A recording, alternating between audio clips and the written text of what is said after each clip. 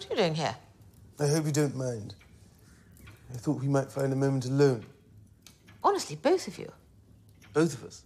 You and your wife ambushing me everywhere I go, with anxious looks in your eyes, wanting to talk. I do want to talk, Mummy. We need to talk.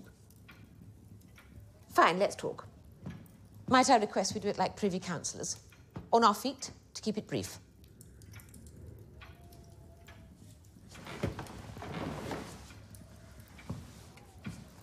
It's the marriage. Yes, I had a horrible idea we were going in this direction. I have done my best. My very best, and I am suffering. No, you are not suffering. We're all suffering having to put up with this. Let me make something clear. When people look at you and Diana, they see two privileged young people who, through good fortune, have ended up with everything one could dream of in life. No one, not a single breathing living soul anywhere, sees cause for suffering. They would if they knew. Knew what? They know that you betray your wife and make no attempt to hide it. They know that thanks to you, she has psychological problems and eats or doesn't eat, or whatever it is she does or doesn't do. They know that you are a spoilt, immature man, endlessly complaining unnecessarily. Married to a spoilt, immature woman, endlessly complaining unnecessarily. And we are all heartily sick of it.